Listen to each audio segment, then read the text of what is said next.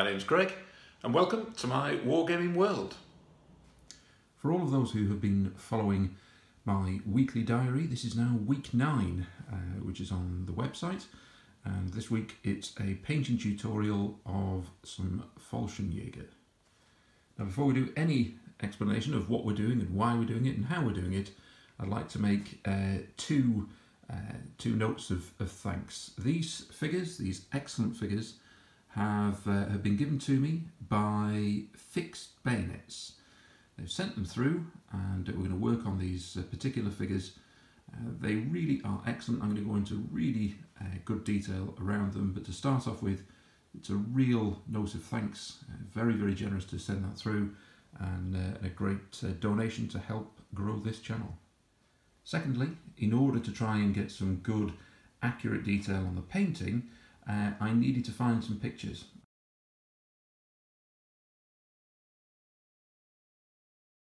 And I did so, pictures that were taken by Andrew Johnson of uh, the Front Line Association, which have their own Facebook uh, site, and just really to thank uh, Andrew and the group themselves for the two pictures that we've used hopefully it's really helpful and shows what we're doing and where we're trying to get to so uh, that's great so thanks both to uh, to Andrew uh, to the group and as I say to Fixed Bayonets.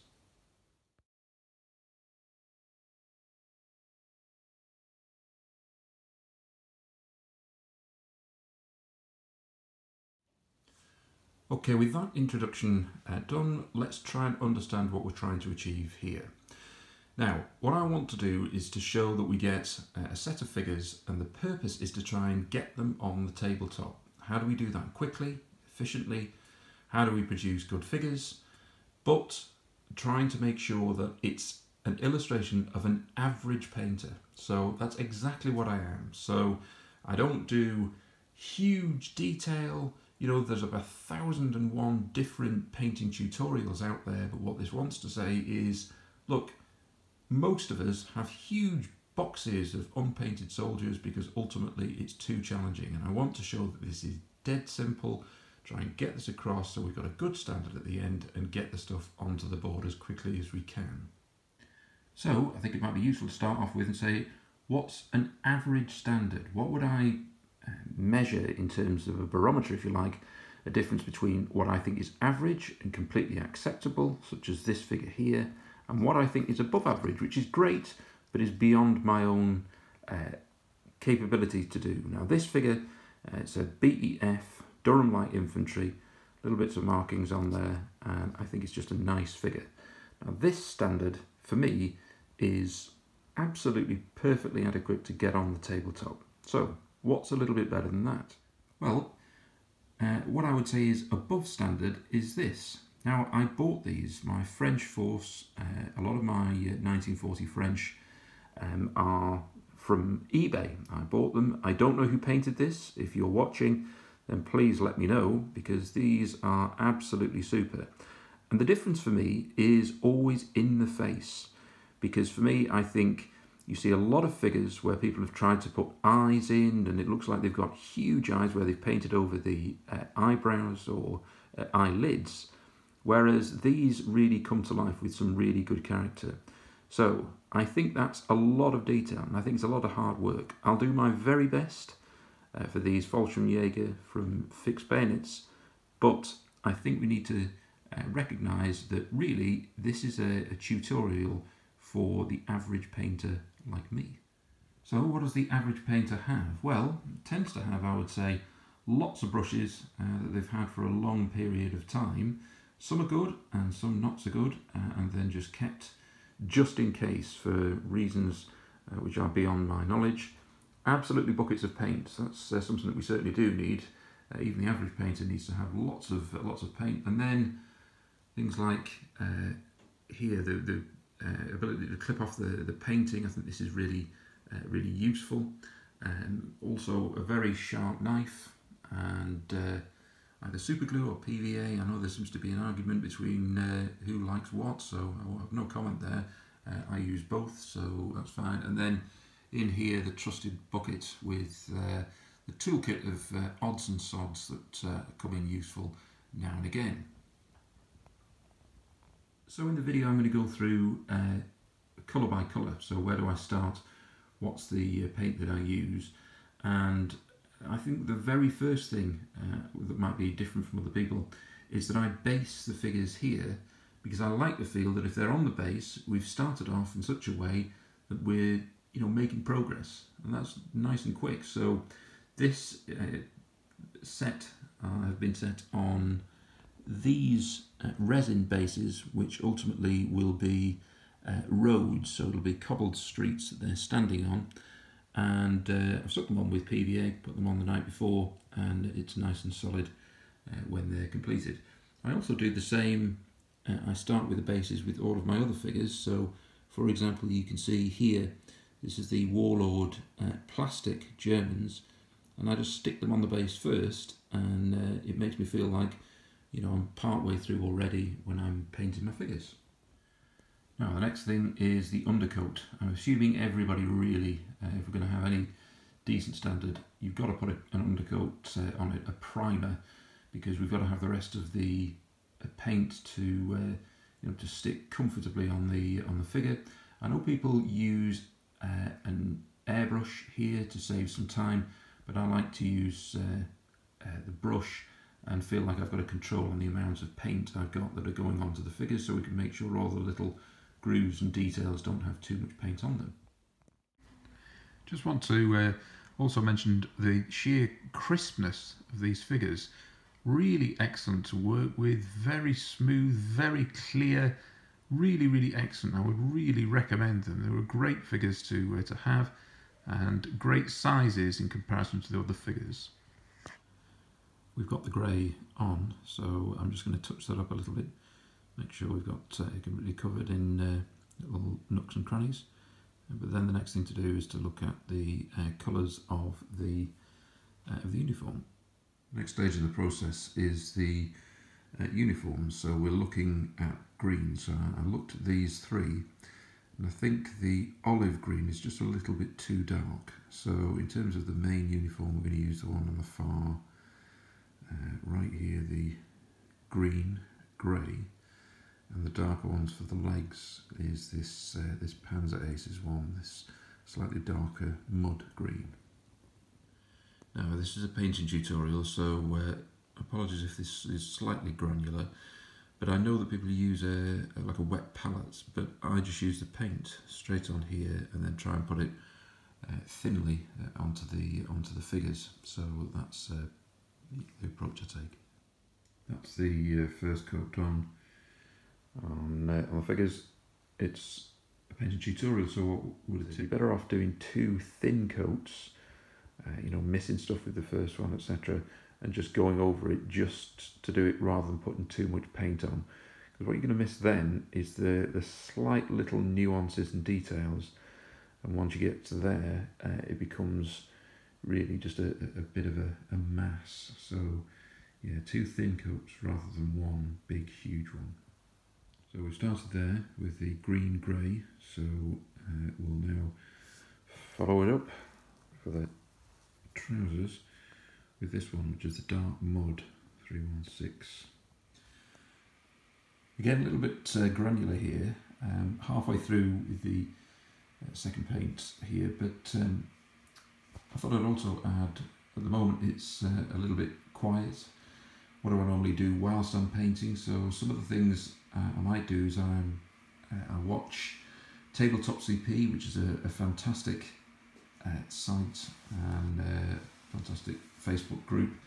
Do lots of videos, lots of stuff on YouTube as well, so that's uh, great. I also listen to Two Fat Lardies, their oddcasts, and all of that going through as well. Um, but also, once I've been doing this maybe for an hour, something like that, maybe even less, is just have a bit of a break, stand back, go and make a brew, something like that. Just make sure you're standing up so you're not uh, crouched in a uh, in an odd position, in a or a fixed position, I should say, for uh, a long period of time. Just good for the uh, good for the body and possibly for the soul. I painted the trousers and the helmet, added black for the boots as well. So the next thing I'm going to do is the base itself, darken that up and so we can have uh, begin to pick out this uh, cobbled street effect. Very simple stuff so far. Just got uh, very dark grey on these bases here. Now, the reason why I do this is to try and make sure that uh, we get some good quality, but also you'll notice the bases uh, of the figures themselves uh, really stand out there. So we need to have uh, some coverage to see that actually what we think we're looking at is just a base with the, the feet of the figures. So it's something else to, uh, to work on uh, to make sure that the overall picture, the overall image is a, a, good one. So what I'll be using ultimately is this uh, battlefield uh, cover. Uh, so it's important to get that nice and dark. And, the area itself, this, this cobbled street, and then lighten it up and get, then get uh, this on top of it. And here you can see how the, just with a bit of dark wash, you can see a good indicator of this cobbled street effect. The right hand side obviously is one we haven't uh, added the wash to. So, very early on indeed, but I just thought uh, I want to make a little bit of progress, so I thought I might as well do it with the bases. So they're going to be in, uh, well, it's really street fighting. Uh, they're going to have uh, captured uh, an area, a building or street or something like that in the game we're going to play in a week's time. So that's why this is uh, based this way. So uh, yeah, that's the progress so far, and on with the more detailed painting.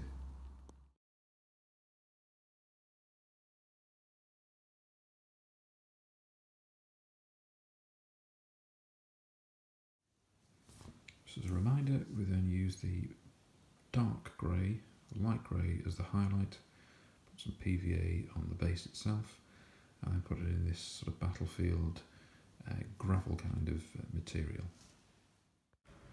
Now for the more detailed uh, painting, we start off with uh, a flesh colour, just on the face and hands. Follow that with uh, a metallic, a dark metallic, and uh, we start by putting that on the submachine guns. It's then followed by uh, a flat earth 143 and I've used that for the uh, for the rifles. Then uh, is a slightly different brown. It's a, a matte, uh, which is the the Humbrol uh, matte acrylic, and I've used all of that for the webbing of the uh, of the Germans. And then finally, it's a, uh, a military shade wash, which I use right across the figure to start off as a basic piece. And that's uh, the half-time whistle to see where we've got to. Now I want to try and add a little bit more detail. So we start with the blue-grey here, and it goes on the uh, bandolier, which is around at the shoulders of this particular figure. Then to get uh, a green-brown and add that uh, colour uh, into the magazine holder uh, the front. It's on, on a couple of the figures. Then this sort of dark mud, it's a, a green dark mud, it is very dark, and it's on the helmet straps there. We then used, it's sort of like a lighter green, and it's on the packs. These are on about three or four of the different figures. Just give a little bit of variety on the back. Going back to the uh, metallic uh, dark grey again, this time for the, uh, it's like a gas canister for the, for the gas mask. Uh, the blue, I've used this on all of the figures, it's a dark blue and it's for a neckerchief uh, just there underneath the, uh, the neck. Added some sort of silver metallic onto the gas mask holder again, just heighten that up. Then use the London Grey, just really for a bit of variety. It's on the uh, front of the, the packages. They do vary on lots of pictures that I've got, so I thought, well, this one at the front for that one is, uh, is dark. Then uh, a flesh wash that gives some depth into the uh, faces and hands. And then I follow that with a military shade. And the military shade I then cover in all other areas, give it a bit of depth. And we can see now as it goes closer in on this particular figure, how that gives uh, a lot of a lot of depth to it. I really like that uh, that look. We've then got the uh, the uh, badges on the side of the helmet, and then with the uh, silver, I tried to do the same on the other side uh, with the inside, but it really didn't come out quite so great. And then with this light colour, the main colour again, I then used this for the highlights. So it gave it a nice, a nice total finish. And then the final piece is the matte varnish. And here's the finished product. So uh, eight figures, uh, which uh, we received, uh, which was fantastic from uh, Fixed Bayonets, great figures. And we also used the original images from Frontline Association. And here's some final final shots here with the with the diorama before we put this back onto the tabletop. I hope uh, the video has been helpful in terms of how we uh, how we paint things uh, as a what I describe myself as an average painter. Hopefully, uh, these are uh, you know there's some good figures there, and uh, yeah, it's useful in terms of what I've put together as maybe a few points to make this an easy process to get them onto the tabletop. So the Fallschirmjäger will be part of next week's video when we have a game of chain of command. And uh, if you've got any thoughts or uh, any ideas in terms of how they might be best used then uh, please feel free uh, drop a note on the comments for uh, YouTube. And for anybody who hasn't uh, subscribed beforehand then please just have a look on the bottom right hand corner of your screen and click to subscribe and help to build the channel thanks very much and finally a final thank you and a, a, little shout out for people who've joined uh, the channel uh, via YouTube. First of all, On Point HQ, who have their own YouTube channel. I recommend you find that. And also we have the Little Corporal, who have their own website. So thanks very much uh, to both of them and all subscribers, and we'll speak next time.